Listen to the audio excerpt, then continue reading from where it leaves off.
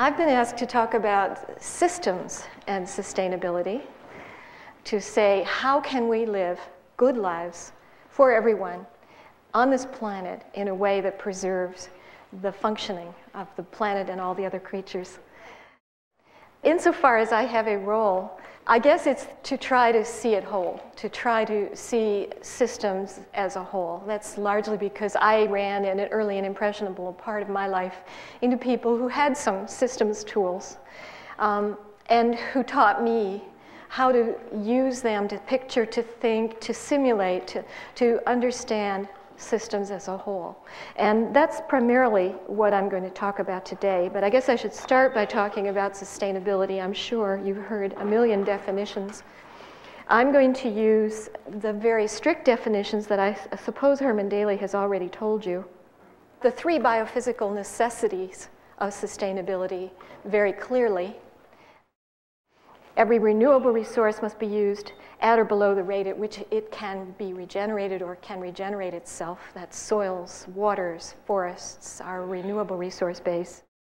Every non renewable resource, our fossil fuels, minerals, must be used at, at or below the rate at which a renewable substitute can be developed. So that when, as is inevitable, that resource is gone or so far depleted to use, we can get on to a renewable, sustainable substitute pollution stream must be emitted at or below the rate at which it can be absorbed or made harmless by the natural systems.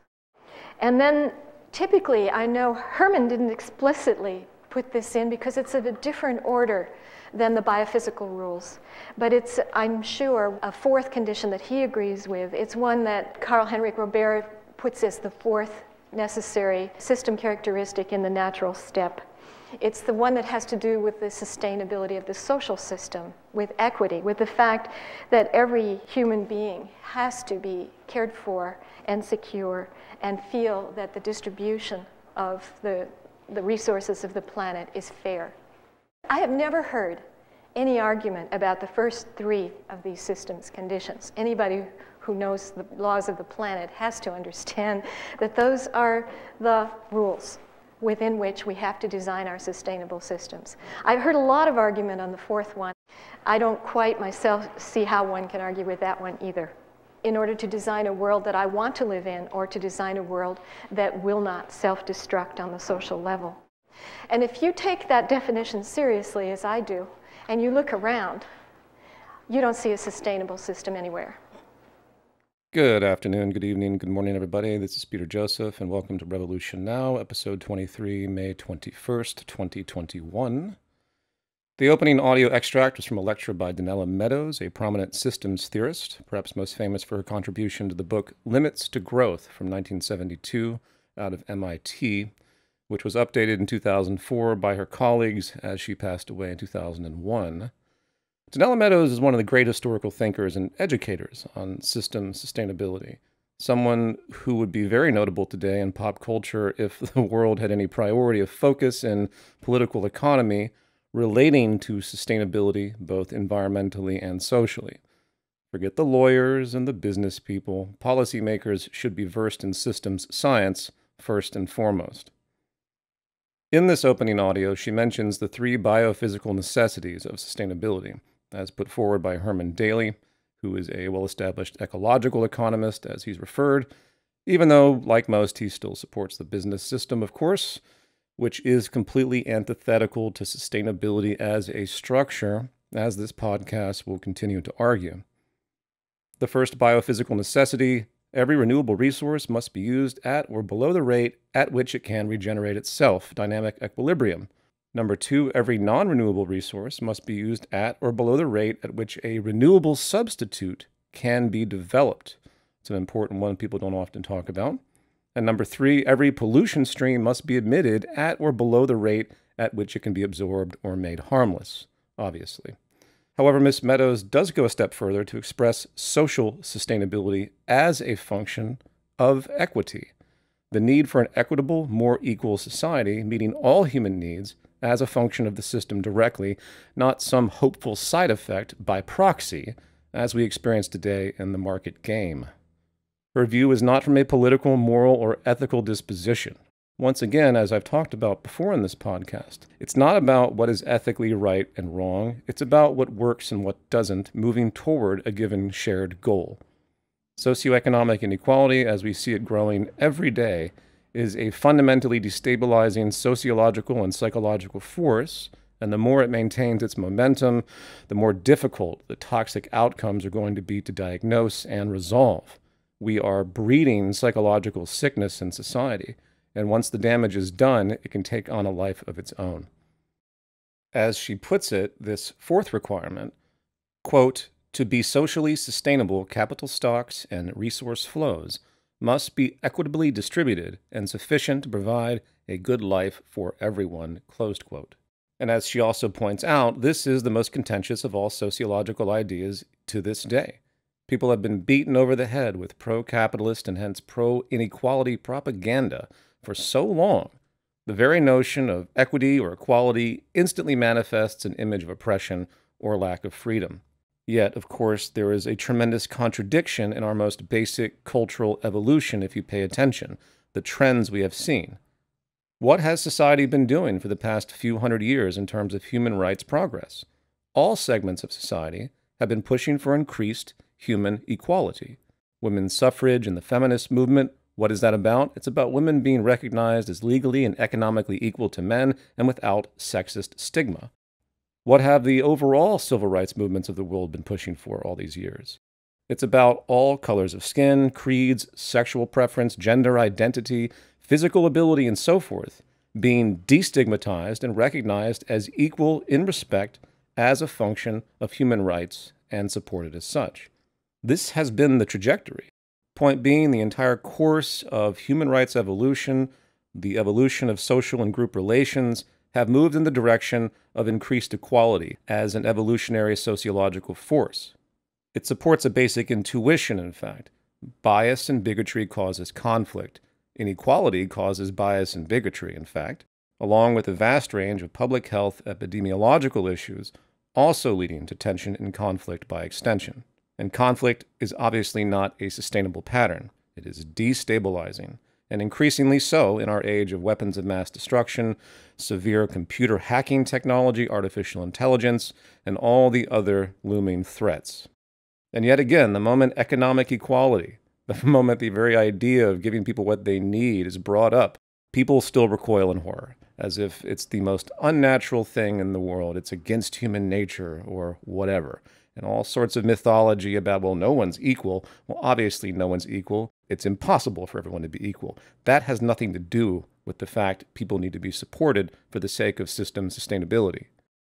The best thing you find with progressive folks today who are too scared to be labeled an evil socialist is they will say something like, We want equality of opportunity, not equality of outcome, which is saying absolutely nothing, as the expressed problem in how our social system works rests in the disproportional nature of economic opportunity itself. The game is so deeply slanted, the dynamics so bound by what one can only call class war as, a, as an outcome, that to impose legal or regulatory policy to assist this supposed equality of opportunity has and continues to do little to help. The system is based once again on scarcity. Scarcity is how the system and the players leverage success and hence equality of opportunity becomes impossible. The rich get richer and the poor stay poor by force of those dynamics, a litany of various feedback loops. Anyway, I'm already disappearing into tangents here, and I have a lot to talk about today, but it is worth pointing out that one of the most caustic of all of these reinforcing feedback loops is the irrational cultural objection to the idea that increased social equity and basic egalitarianism is something to be thwarted.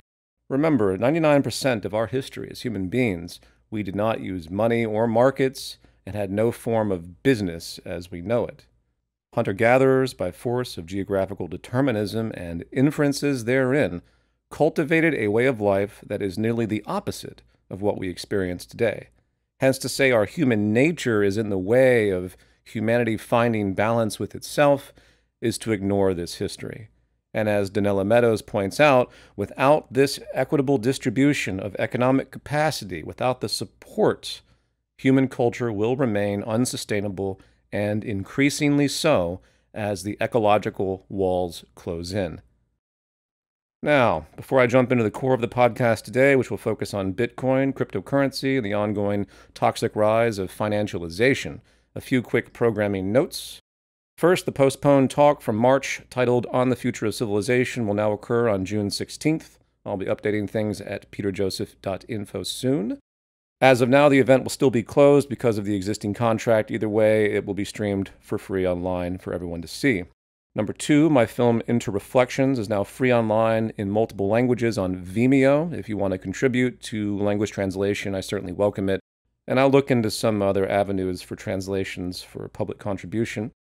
Third, after years of internal debate, I am moving forward now with Zeitgeist Part 4 to be released next year.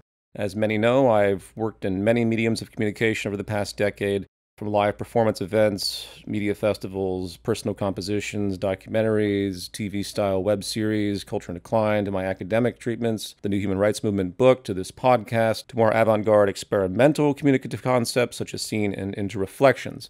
I also just got noticed, by the way, that a paper I co authored with a friend of mine will be in a peer reviewed journal fairly soon through the World Academy on the subject of structuralism. I'll keep everybody apprised of that.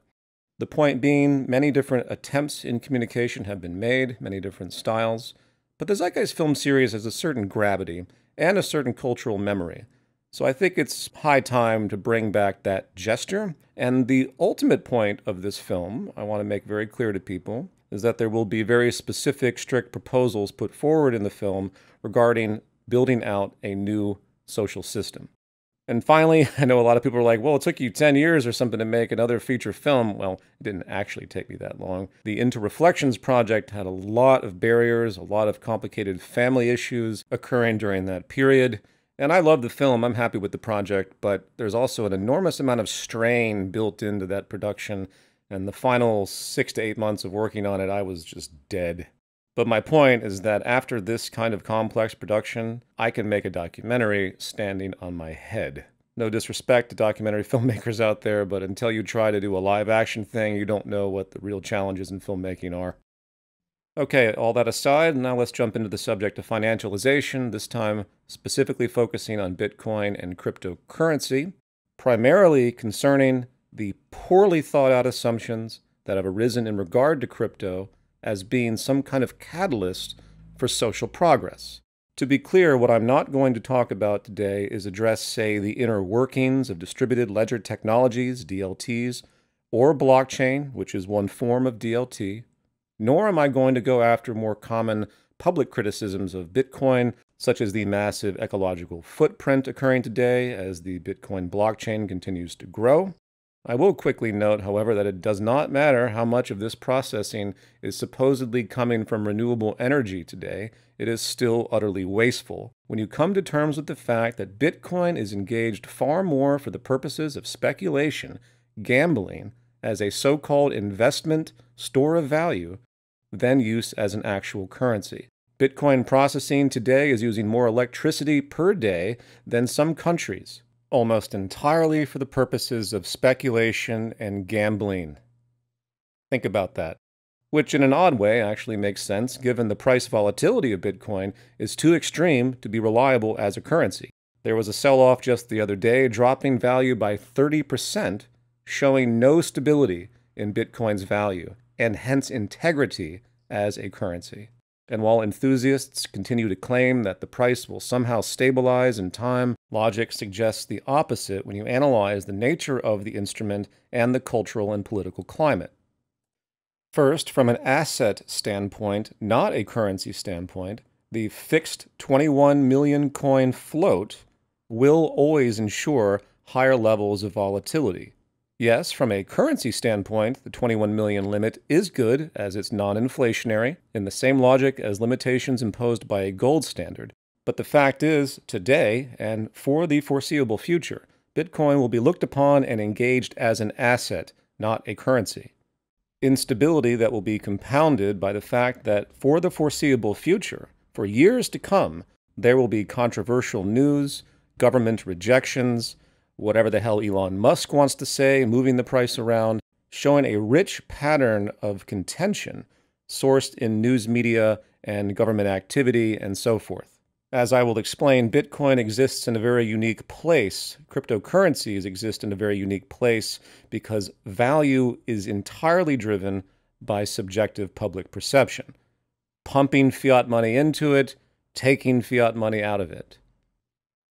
Furthermore, once you factor in the demographic, youthful, highly uneducated, emotionally driven demographic, the Bitcoin community, people, I am convinced, on average, have no idea what they are doing when it comes to the nature of market dynamics, coupled with the fact that as an asset with no safeguards, such as the ability for intervention in trading when there are massive sell offs on Wall Street, these factors coalesce into the conclusion that Bitcoin and crypto in general will likely have very high volatility for many, many years to come, wasting enormous amounts of energy, not for purposes of supplanting fiat currency in some act of revolution, but as a store of value and hence gambling instrument.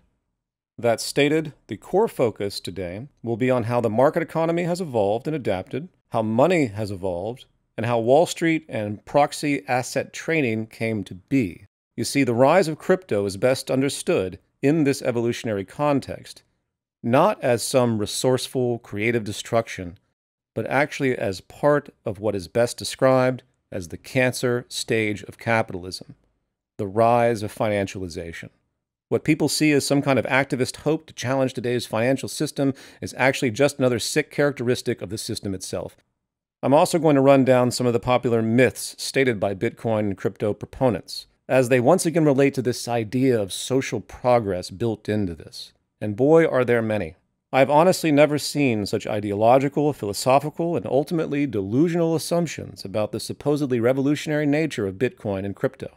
People grasping at ethical straws to justify what will, mark my words, remain as nothing more than an investment store of value, hence gambling instrument from here on out. That is all Bitcoin is and all it ever will be. Now, I'm going to really try my best to keep my insolence and disdain to a minimum here, but I have to emphasize, as a former private equity trader for six years who studied the stock market religiously, leading to my interest in human psychology and economics, I have never in my life seen a more misled and confused subculture.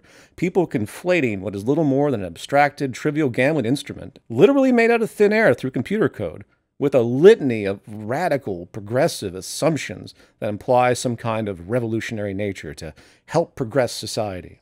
The truth is that Bitcoin is not only a waste of time and energy when it comes to positive social change, it also has become a dangerous distraction for many in the activist community, propped up again by false assumptions of some kind of revolutionary adoption, an adoption, quite simply, that shows no signs of ever occurring. I've watched so many friends in the sustainability, progressive, human rights, and social justice circles over the years drift aimlessly into the cult of Bitcoin, crypto, NFTs, and beyond, blinded by the irrational, idealistic propaganda behind its perpetuation, coupled, of course, with a kind of pathological greed, a deep, narrow self interest that truly underscores the entire thing. There's an old saying there is nothing more dangerous than one with righteous ignorance compelled by the idea morality is on their side. Think of the abortion doctors killed by so called pro life advocates, right? In the case of Bitcoin proponents, not only do they believe they have virtue on their side as some kind of activist expression to change the world, the public spectacle and hype generated by this direct monetary reward the dopamine hit they get when they watch the price of Bitcoin rise as their fiat wealth increases compounds the delusional sentiment.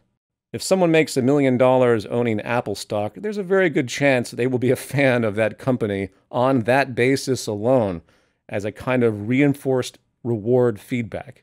And the same psychological force is happening in the crypto community as well. People pathologically lying to themselves about their actual motivations.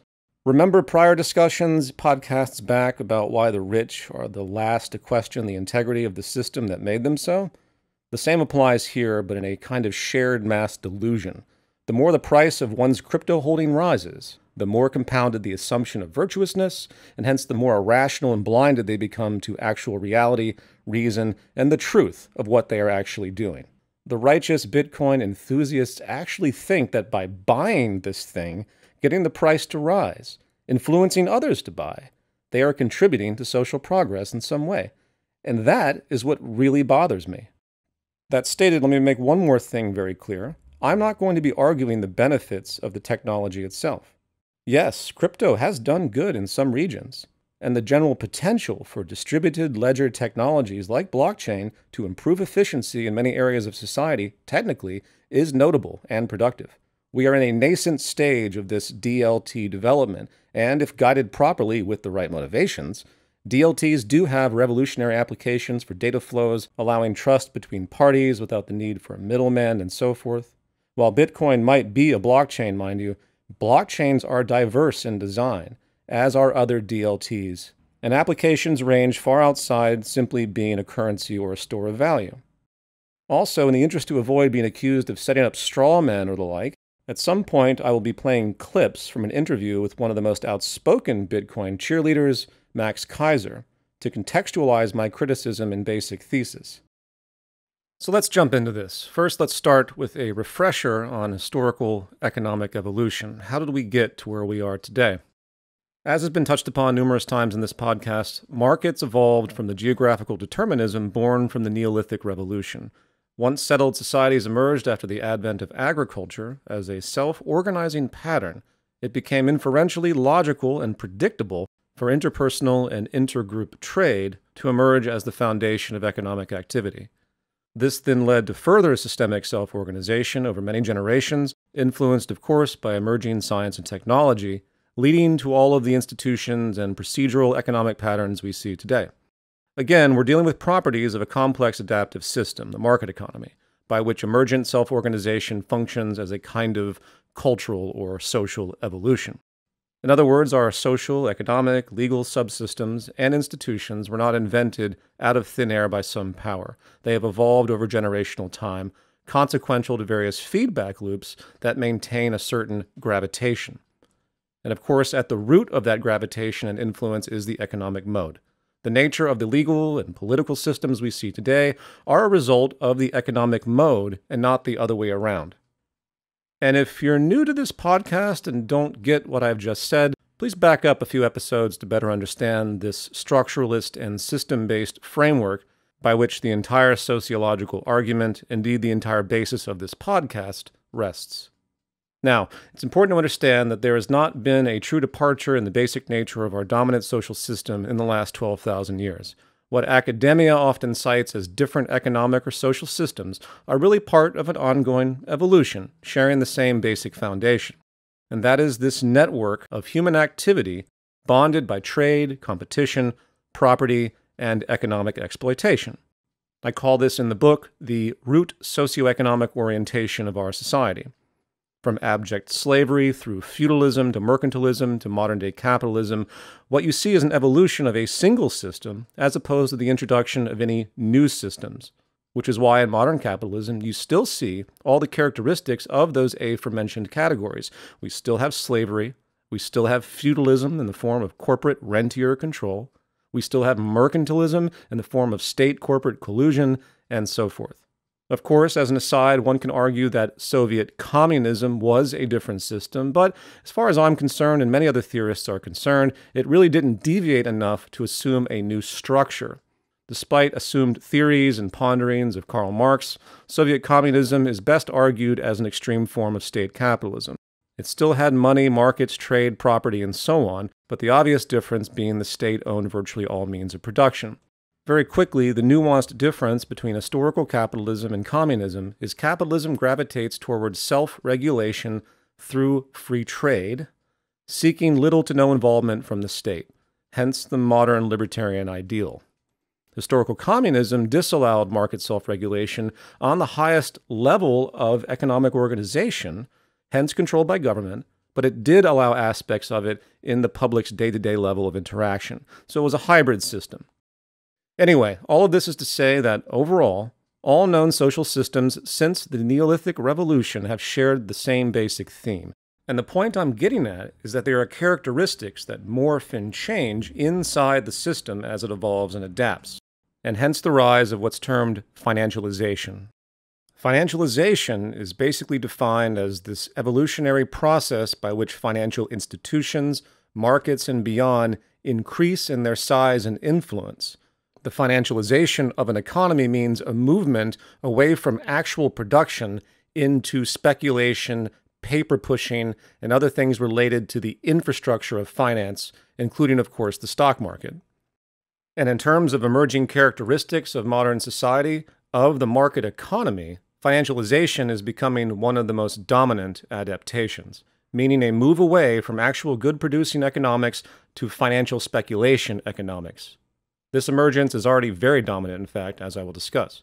And if markets remain as the dominant economic pattern of behavior, as technological automation replaces jobs and other influences, we are going to continue to see more increased activity in the financial sector, moving away from jobs and income that have actual tangible economic utility into more vacuous enterprises such as digital trading.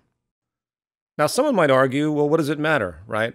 If dematerialization and technological unemployment, automated systems are creating efficiency on the level that less energy and people are needed in the manufacturing sector to get things done, and they deviate into paper pushing and gambling and financial speculation and other avenues of financialization, what does it matter?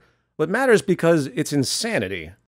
The great efficiency progress we have seen technologically and hence economically in our society should give us motivation to change the structure, to take care of everyone, to create a more safe environment, to reduce the stress on people, to reduce the work week, and all of those things that have been talked about before not the engineering of some fake non productive activity, such as everyone getting up one day, and since automation is taking care of most things along with AI, everyone's job hence becomes sitting at a computer and trading money strategically like people do on the stock market. Imagine if that was the last remaining economic activity.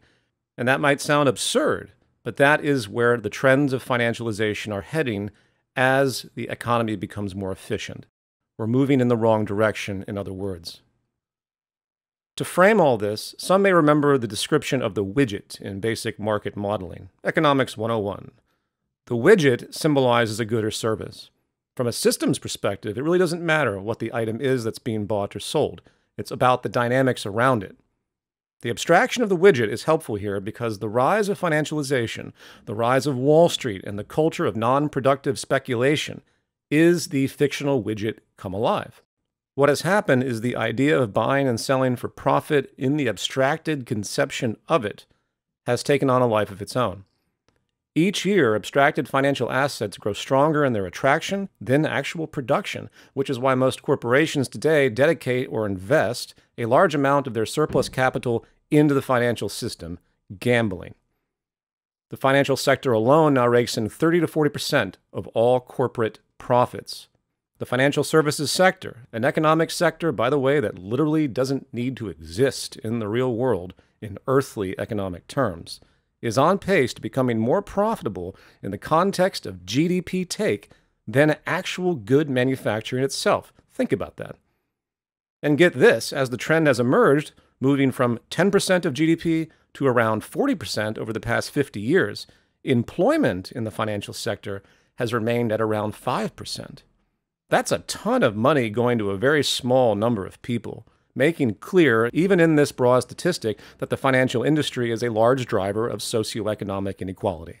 And very quickly, and I'm not going to go into too much detail, but it's worth noting that the financial sector, this arena, specifically financial asset trading, has been the most destabilizing economic force on the planet. The natural boom and bust dynamics of the business cycle do not have the capacity to crash itself in the way the financial system and Wall Street repeatedly has, largely a result not of the integrity of currency, but a result of the behavior of abstracted financial asset trading once again, which is why I use the hashtag abolish Wall Street quite often. Now, as a brief aside, theorists of cryptocurrency see the application of the distributed ledger peer to peer blockchain capacity as a way to help eliminate this dominance of the financial sector, which is logical. If we eliminate the middlemen of banks and such institutions through peer to peer exchange, smart contracts, and beyond, it theoretically could deflate the financial sector and its influence, helping to reduce income and wealth inequality. It certainly makes theoretical sense on paper, such an outcome is possible. But as I'm going to describe in the context of many of these idealistic assumptions, people are getting lost in the theoreticals and not paying attention to what is actually happening. Yes, crypto as a currency, Bitcoin, could revolutionize interaction in the financial sector because of its peer to peer decentralized nature. But what is it actually doing? Actually, it's contributing to the exact opposite. It is deeply entrenched in part of the destabilizing pattern that is Wall Street, that is the high volatility speculation, leveraging, companies buying Bitcoin. When Bitcoin crashes, so could the companies crash, and you have the same kind of phenomenon that you see the housing crisis, the dot com crisis, and beyond. So there's that. That is where we are. And in terms of adoption of the actual currency, in the hope to see some kind of revolutionary infrastructural change, the question becomes how is this going to be adopted to allow for that? How will Bitcoin or any existing cryptocurrency somehow magically come into favor of state power to allow for that kind of use? Or, as many idealists like to talk about, become the new global reserve currency? How is Bitcoin going to do that?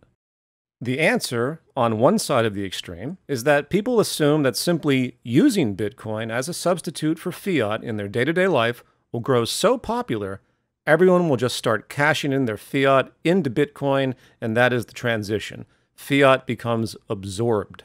So, to create a Bitcoin based global reserve currency, all the fiat money in the world would have to be spent into Bitcoin to absorb it all. And even if Bitcoin absorbed, say, 75, 85% of all the fiat in the world, it doesn't change the nature and disposition of state power.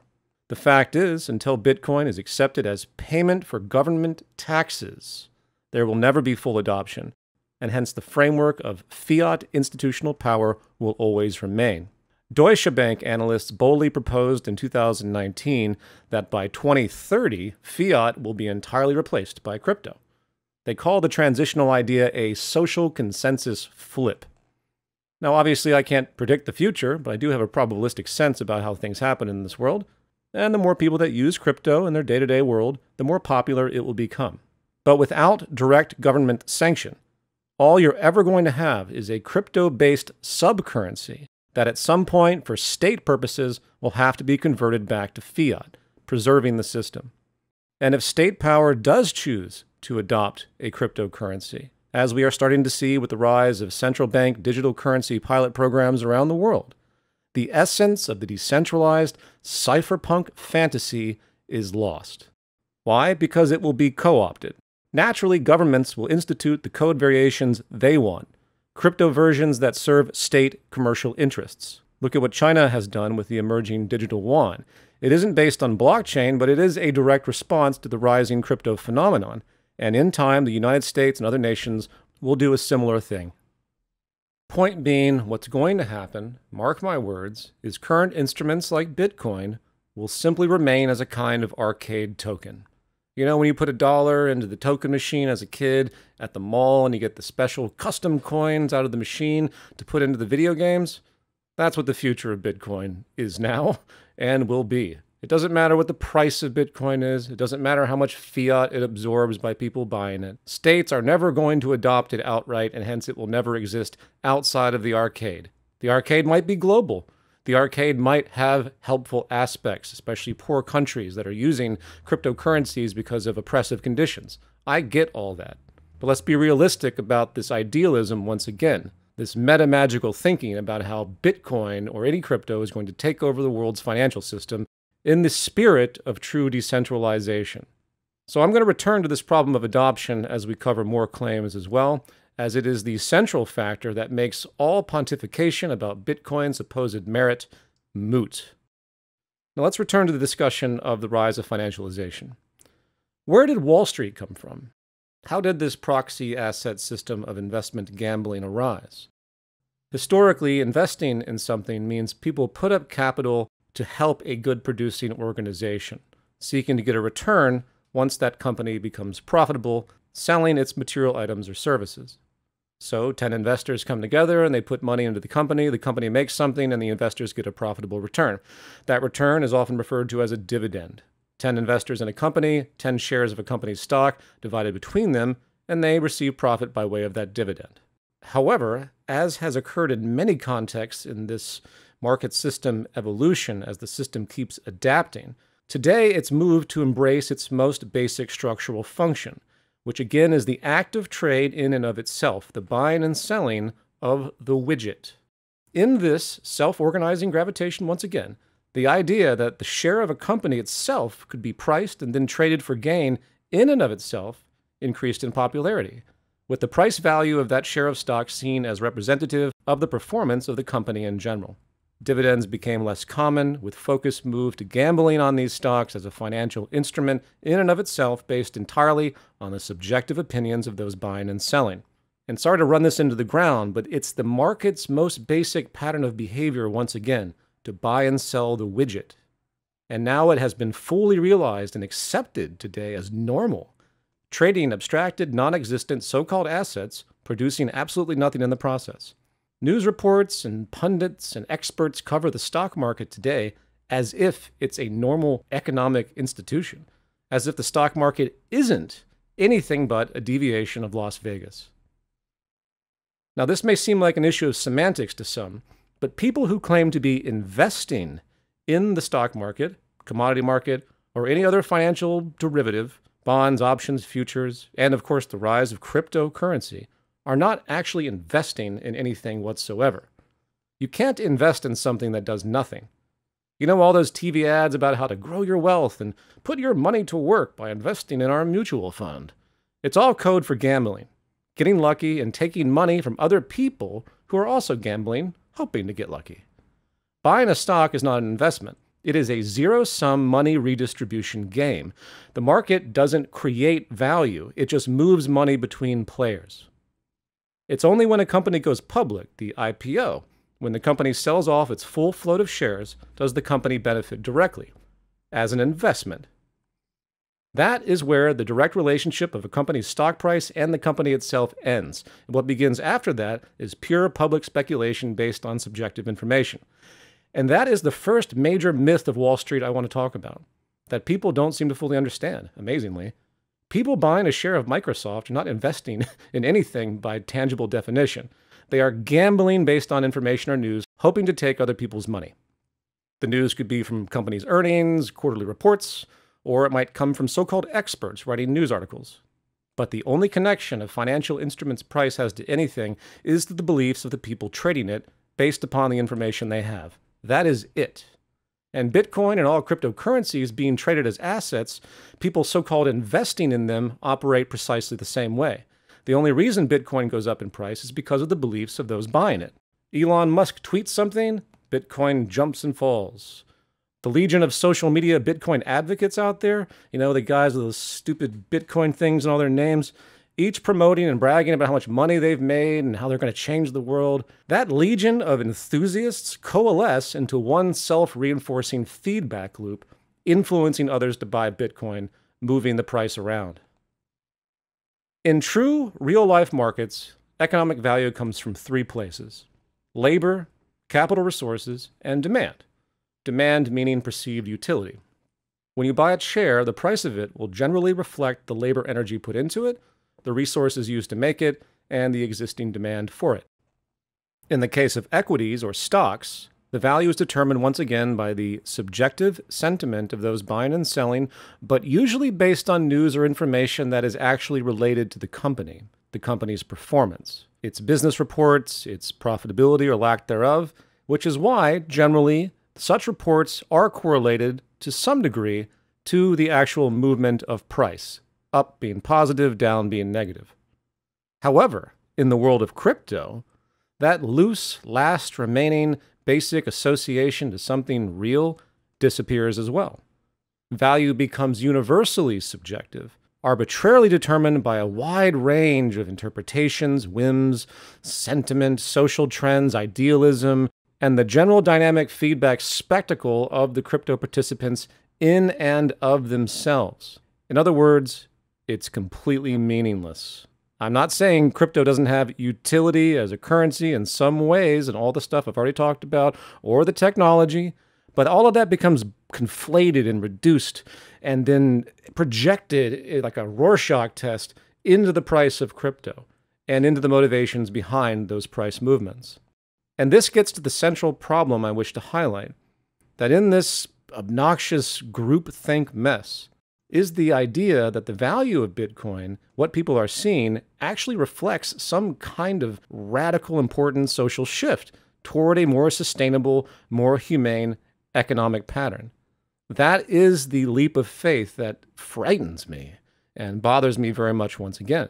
People say things like, I support known Bitcoin because it's anti war, or it's going to stop the debasement of currency through inflation, or, and this is perhaps probably the most amusing of uh, recent pretend activist incentives, put forward by Twitter founder Jack Dorsey, claiming that Bitcoin is going to be incentivizing more interest in renewable energy development, which is just stunningly Orwellian, greenwashing. Even if there is truth to the potential of Bitcoin or any cryptocurrency to achieve such ends, none of those things are or will occur since Bitcoin's fundamental lure is as an asset and not a currency. Bitcoin activists have this huge array of poorly thought out moral claims, adoption, and application concepts about the future potential use of it, superimposing all of that speculative vagueness upon the interest to simply see the price rise, so in fact they can just make more fiat money. In true technical reality, and ironically in a way, the only thing that gives Bitcoin its value, its price, is the fiat currency being pumped into it. If it wasn't for the gambling interest to take other people's fiat money in the zero sum Bitcoin gambling game, Bitcoin would have no interest whatsoever. Now, the second myth, which also really should go without saying, but I'm going to say it anyway, is the idea that the stock market or any financial instrument, including crypto, somehow creates wealth. We could enter into a deep philosophical conversation about what wealth means as far as I'm concerned, wealth is a capacity, not an outcome.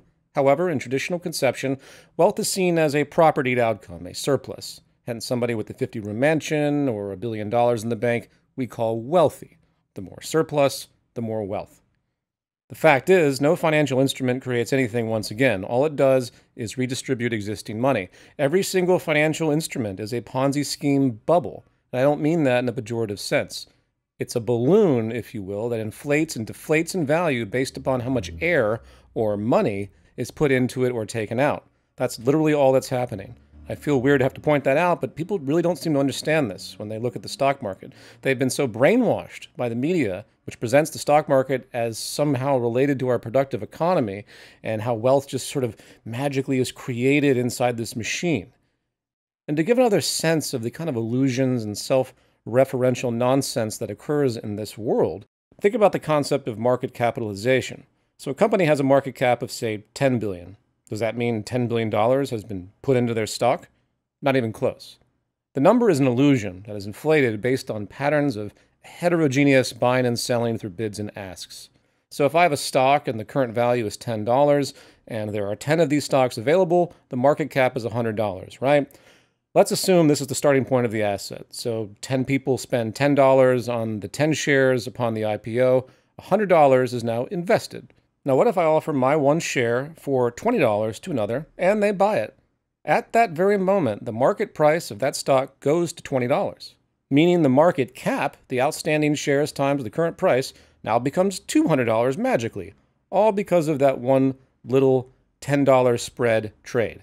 So think about the absurdity of that in general and the absurdity of Bitcoin enthusiasts as they brag about their own market capitalization as if it means something. In May of this year, it was like a trillion dollars or something. Great. Guess what? It's utterly self referential and meaningless.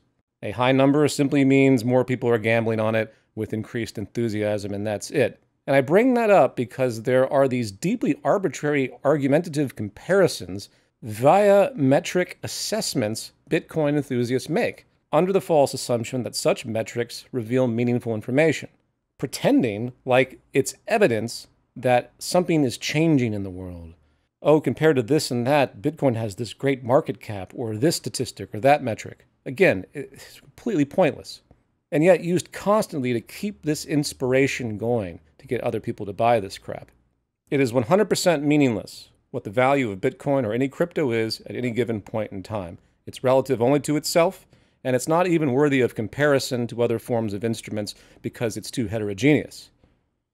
Whether a Bitcoin is valued at $60 or $60,000 or $60 million makes zero difference to any assumption of its utility as a currency or its potential adoption. And speaking of adoption and the activist delusions therein, companies like PayPal or Tesla formerly or whomever are not accepting Bitcoin because they want to change the world, have a decentralized currency, and move away from fiat. They are obviously simply getting in on the action for their own financial gain, absorbing transaction fees, and appealing to, of course, a new demographic that would feel more excited by using Bitcoin with such an institution because they think there's something radical about it once again. From the incentive standpoint of commercial institutions so called adopting Bitcoin, it's no different than the decision to use a new credit card company or not for their transactions. And as an aside, people are often quite surprised when they find out that I, the zeitgeist guy, am not in support of Bitcoin or cryptocurrency when it comes to economic or social activism. I made a series of documentaries which criticize the financial system, the fiat system, fractional reserve lending, and beyond.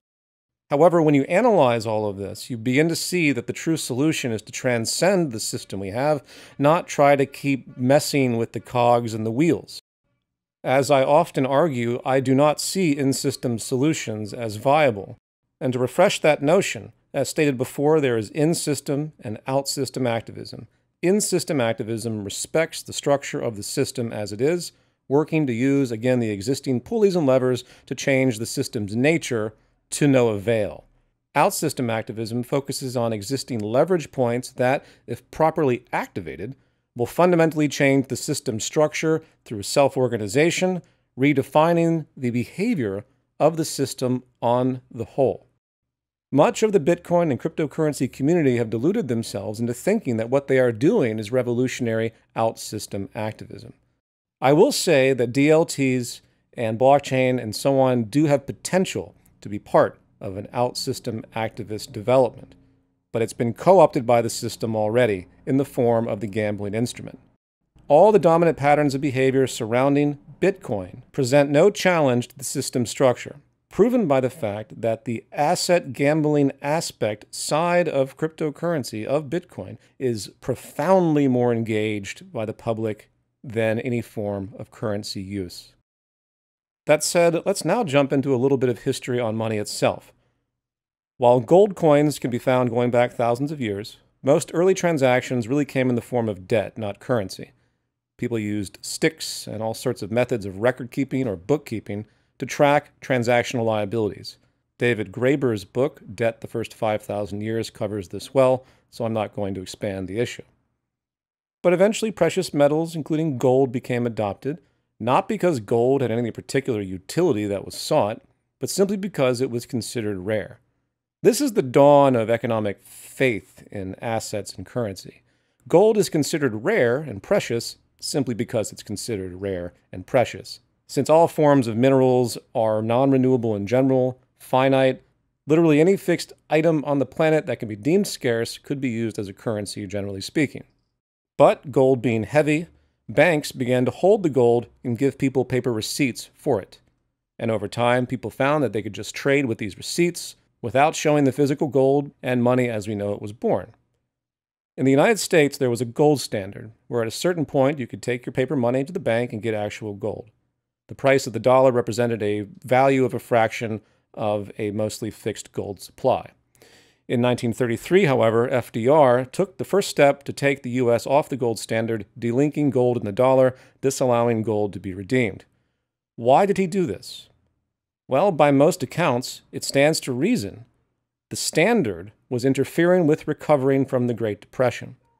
The crash of the financial markets in 1929 could only recover in the same way we recover from periodic crashes today, sad to say, but this is the way the system operates. Financial stimulus. They needed to pump money into the economy, lower interest rates, and that couldn't happen with the fixed gold standard. And it is argued logically by many economists today that without doing that, the market would not have recovered. The depression would have continued far longer than it did. And such is the nature of the evolving system. As an aside, keep in mind that Main Street was doing just fine before the Wall Street crash of 1929. It was once again rampant financial speculation and various leverage schemes, almost exactly what people are doing with Bitcoin right now, mind you, that crashed the system, creating the Great Depression. A process of crashing that has repeated many times since, once again due almost entirely to financial speculation, financialization. And what I'm getting at here is that in such an unstable system as financialization has grown, evolved in popularity and effect and institutionalization, governments today actually need the capacity to create such stimulus because the crashes are going to keep coming. It is unfortunately part of the emergent adaptive equation. Can you imagine if during COVID, with mass unemployment and business failure left and right, the US government was bound to a gold standard unable to inject money into the system. I'm not saying I think the system functions correctly at all, mind you. I hate this system. But let's observe what the system is and does and where it's coming from. If the US government wasn't able to pump fiat into the system, it would have been a disaster. Irrespective of the debasement of the currency through running the printing presses and resulting inflation. So, if we're going to endure the lunacy of our infinite growth, increasingly speculation driven society through the rise of rampant financialization once again, the idea any of our money can be tied to a fixed value limiting monetary expansion is actually, in the modern day, a terrible idea. It is a terrible idea because the only tool government has to correct inevitable periodic failures of the financial system is stimulus. And it's no surprise, given these patterns, that the entire world eventually went off the gold standard, with the final nail in the coffin in 1971 when Nixon ended the Bretton Woods system. Now, I've probably ruffled some feathers with that distinction. What? Peter's in favor of inflation? I'm not in favor of inflation or the debasement of currency.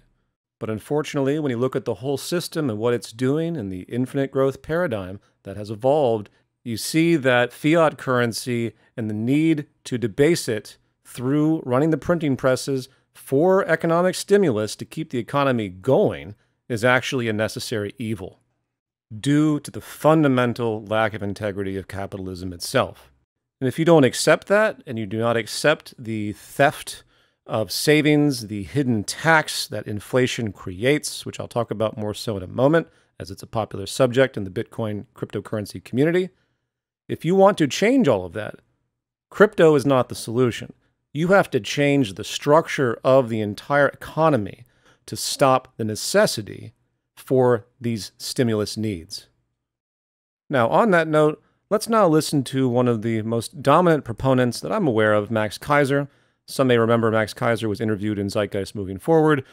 Keiser has always been outspoken to his credit about the corruption of Wall Street and the lunacy of certain elements of it which is why I interviewed him on the subject.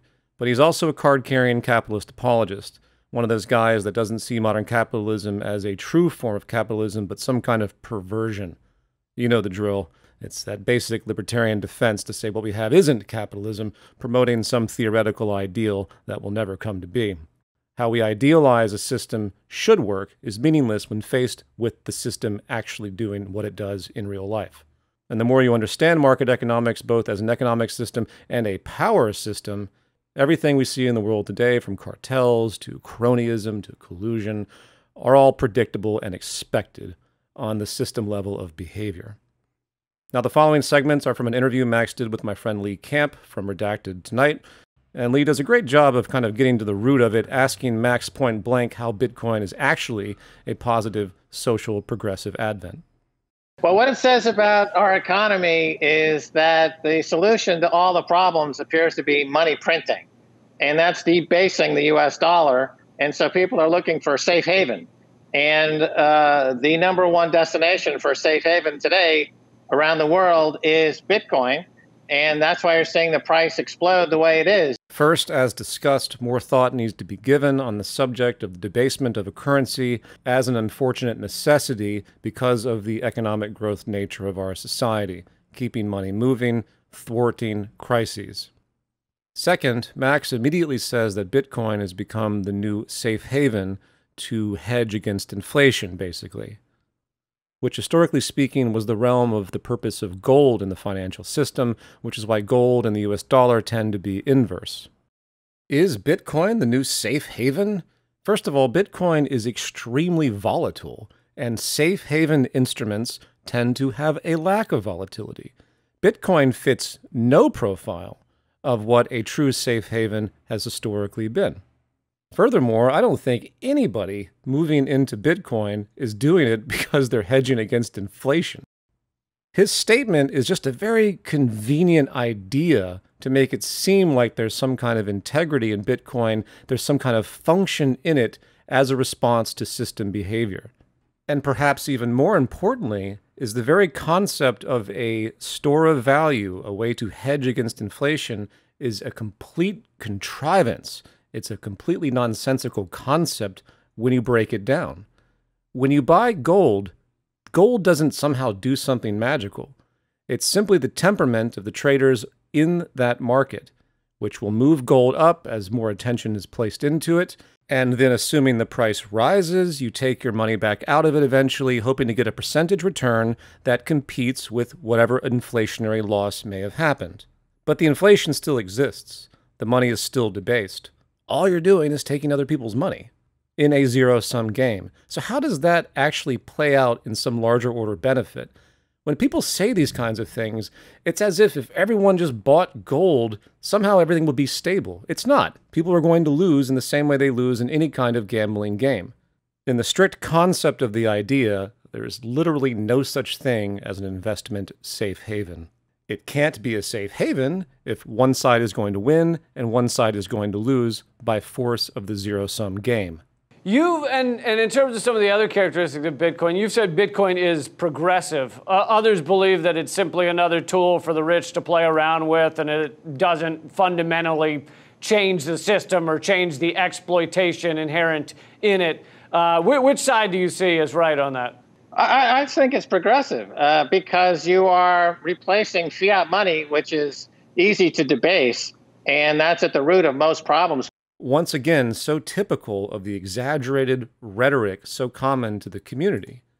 You're not replacing fiat when you buy Bitcoin in the same way you're not replacing a dollar when you put it into an arcade machine and get out tokens. And I've already covered this bizarre incremental assumption that as long as people keep putting their money into Bitcoin, it's going to magically, systemically override the entire system. That's not going to happen without state sanction. And as far as I'm concerned, by force of the volatility of these instruments, you're never going to have enough faith in the currency, in currency use, to see that trend either. Again, today people see it as an asset. That is the dominant identity of Bitcoin. And it's going to stay that way for a long, long time. Bitcoin can replace fiat money and replace all the criminality we see on Wall Street. So I think it's progressive in that sense. While it is theoretically true that Bitcoin can replace fiat money, how it actually gets there is the ultimate question, with enormous barriers. And as far as the passive statement, once again, all this rhetoric about how Bitcoin will overcome criminality on Wall Street. Well, what kind of criminality are we talking about? Wall Street is defined by investment banks and market movers working through exchanges to gamble on various instruments. The entire institution is sickness, with perhaps the most fundamental problem being the creation of derivatives. It should have been criminal for these housing, mortgages, subprime stuff to be bundled and gambled upon by proxy, leading to the 2008 housing market crash. Is that the criminality Bitcoin will solve? Will Bitcoin solve the insane leveraging? No.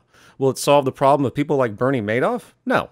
Will it resolve the outrageously offensive bonuses and extreme income of hedge fund managers? To what effect Bitcoin can limit criminal conduct in a system that is fundamentally criminal, I can assure you it will be very minor.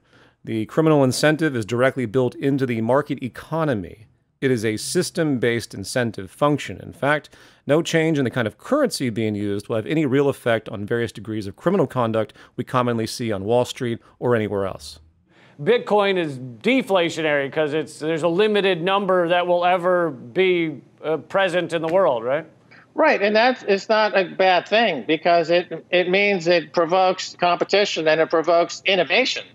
Uh, when we were uh, under a gold standard, for example, you had a huge boom in the global economy because people had to innovate their way to make profits. First of all, innovation is constant and rampant in our competitive society as people are born into the scarcity based world, into the scarcity based social system. They either have to sell themselves or they have to create something. There is so much innovation right now, it is wholly wasteful. Everybody is innovating at every turn, trying to think of anything they can to produce and sell to somebody else. To say that during the gold standard there was more innovation is a deeply weird and specious statement. But let's get more context and see how he explains himself. What, what happens in a fiat money system is that you have people who are closest to Washington, people who have greatest political influence, get the free money the first, first from anybody else. It's called the Cantillon effect.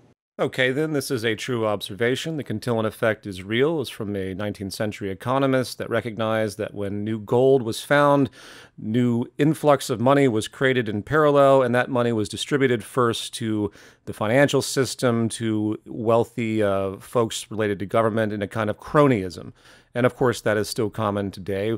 When you have the bailouts of our society, the tendency, for many reasons actually, is to put the money back into the financial system, and you end up giving literally the rich people all the money to begin with, and then it trickles down through the economy. That is indeed a very unfair, state driven reality. It's also a very sparse phenomenon. Of all the problems in the world, that is one sub problem that is not necessarily the worst of all of our economic problems, of course. Furthermore, what we're really talking about is cronyism, favoritism of government towards certain institutions, helping out their friends. And that's going to happen whether we have a cryptocurrency or not. And Max goes on this tangent about companies getting interest free loans from governments and benefiting off of the inflation that is created, leveraging the inflation as he talks about it. And that is a problem. But it's a very specific, nuanced, and relatively small problem compared to all the other inequality issues and all the other ecological issues we face as a species. And furthermore, it's worth pointing out that it's implied, it's assumed that some kind of adoption of Bitcoin would stop this pattern. But wait a minute, we're talking about government and government cronyism. If they're doing this pattern as it is, that incentive will still remain, which then means there would be hesitancy on the part of any state to interfere with those kinds of loyalties. And hence, why would the government adopt Bitcoin or any kind of cryptocurrency that would limit its ability to perform such acts? Once again, this gets to the heart of the delusion. If you're bothered by what the government does in its money creation and spending, remember it's still the government. Why do we think that general public adoption, buying Bitcoin and using it, is going to magically influence the behavioral patterns of a government that uses fiat when it benefits from it? How does that revolution occur? The fiat money world is very prone to violence and a war. The U.S. likes to go to other countries, drop bombs, and steal their assets. Well, if those assets are unconfiscatable, if they're all the assets of, a, of the country is Bitcoin, the U.S. can't steal that country's assets. So the U.S. is going to have to go to that country and, and negotiate in a friendly way to get what they want from that country. So it demonetizes war. It demonetizes violence. And in that way, it's a progressive issue Bitcoin. Every progressive should love uh, Bitcoin for that one reason alone. Yeah. It demonetizes war and violence. And I'm going to stop with this one in its grand naivety. First of all, if the United States wants to steal the oil of Iraq, it doesn't matter if Iraq is using goddamn Bitcoin. The idea that any of this stuff is non confiscatable is extremely dubious as well, on multiple levels on the level of criminality or war, putting a gun to someone's head and forcing them to give you information about their Bitcoin account would not be that difficult, obviously. So these are just more weirdly exaggerated claims that lose all nuance and just sound good. Furthermore, building upon this concept, one of the arguments I hear from a lot of Bitcoin proponents is that The U.S. military machine, the military industrial complex, needs fiat currency to pump into the Pentagon each year with its outrageous budgets, and that's how it finances its empire wars. This argument has been around for a long time in the Ron Paul community. I think I first read about it in The Creature from Jekyll Island about the Federal Reserve by Ed Griffin. And of course, it's true. The US government can make enormous amounts of money out of thin air and use it to finance whatever it wants. That's also the basic observation of MMT. Given that, given the constituency of the US government and the long standing pattern of military dominance, do you honestly think they're going to throw that concept away because the public is now clamoring for a peer to peer decentralized currency with a fixed 21 million standard? Of course not. And again, I, I hate to sound like a broken record, but this is where the ultimate delusion clashes. The state is never going to go along with any of this. They will simply continue the system they have, and they'll just tolerate the token arcade players that are using Bitcoin in general day to day reality. It will be tolerated on that level, it will never go anywhere, and the state fiat systems of power will remain unless unless there's a total domestic or global revolution. And in that case, we shouldn't be messing with any of this garbage at all, and we should be focusing on true system level change. So, in conclusion, I've gone over an hour with this, and my God, I hate this subject. The way you do not change a system of this nature is by trying to alter one of the most fundamentally caustic aspects of it. This is why I advocate a marketless society, and I actually see a higher probability of that occurring, believe it or not, than any of these incremental in system ideas, such as the application of cryptocurrency. As my lecture will talk about, there is a way to build a new kind of social infrastructure, in fact, using some distributed ledger technologies. And maybe in certain contexts, cryptocurrency would be applicable in this new rising trend. But in this design revolution, the concept of markets and currency being the fundamental problem, being the fundamental catalyst of the power sickness we see, has to eventually be put to the wayside. That is what system level change is going to require if humanity expects to be sustainable in the future and create social justice and hence social stability, as Donella Meadows pointed out earlier. All right, folks, I'm exhausted. I will talk to everybody soon. Thanks for listening. This program is brought to you by my Patreon, and I will be in touch very soon. Thank you.